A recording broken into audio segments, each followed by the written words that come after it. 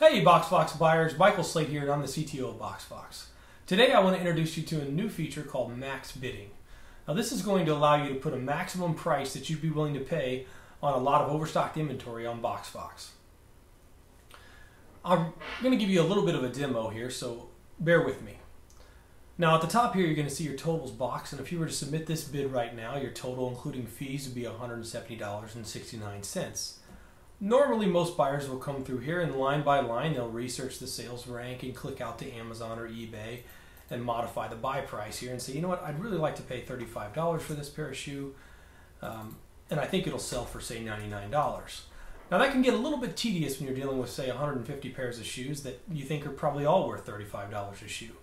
And that's why we've made this bulk pricing feature up here.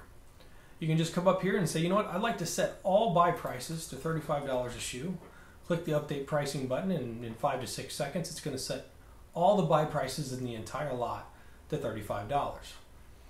Now of course you can do that to sell change the sell prices in the same way.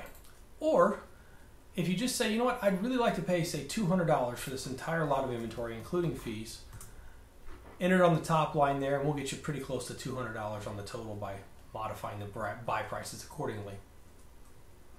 Now, once you're ready to submit your bid, come down here and submit your offer. And the new screen you'll see here is called Max Bidding.